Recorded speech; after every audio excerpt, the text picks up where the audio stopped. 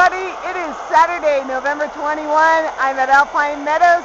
8 to 10 inches of new snow last night. We're making snow all day long.